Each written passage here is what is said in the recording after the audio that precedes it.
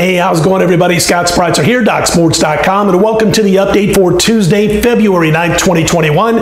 Free pick coming up in college basketball for Tuesday. We'll get to that in a moment.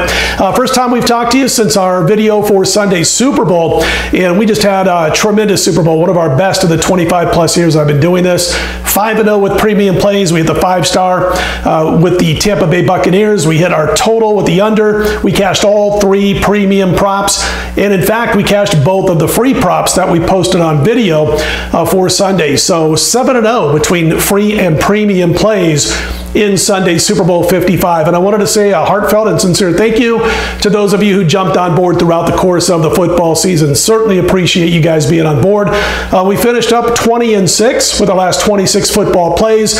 Going back even further, we made we made over $5,600 for those wagering just $100 per unit over the second half of the season on that run. So just a tremendous run to close the season. Can't wait to get started in football uh, in August. But uh, as far as everything else, we kicked off the new week with the three and one card on Monday. Uh, we cashed in college baskets with Kansas in the NBA with the Cavaliers plus the points. Uh, we cashed in the EPL with Leeds United. My only loss was a tough one to take. We had the St. Louis Blues to go 4 0, and they gave up the game tying goal with less than one second left in the third period and went on to lose in a shootout. But 3 and 1 will take any day of the week. Here's what I got going on Tuesday. Star of the show for me college basketball, five star play. I've also got NBA, NHL. Uh, so don't miss out. We'll look to go up $5,000 for $100 per unit betters, just shy of $5,000 on our current run if we cash the five star on Tuesday. All right, free play for me, West Virginia Texas Tech. I'm not a big revenge guy, but in certain situations, I think it has to be factored into things. That's the case in this one. Texas Tech leading West Virginia in Morgantown in late January by 12 points with about seven minutes to go in the game. West Virginia all of a sudden can't miss anything. They come back, they win the game 88 to 87.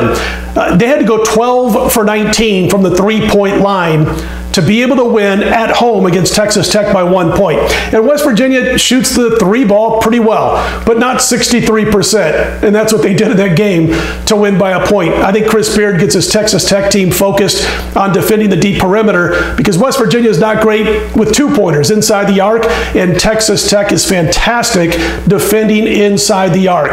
Uh, they give up about 44% two point shots to their opponents, outstanding and adjusted efficiency defense, and I think that's going to be the name of the game in this one. So we're going to recommend to play on Texas Tech minus the points on West Virginia on Tuesday. All right. Again, the star of the show for me, five star play in college baskets on Tuesday over at my homepage at DocSports.com. If you like the videos, click on the thumbs up button. Be sure to subscribe.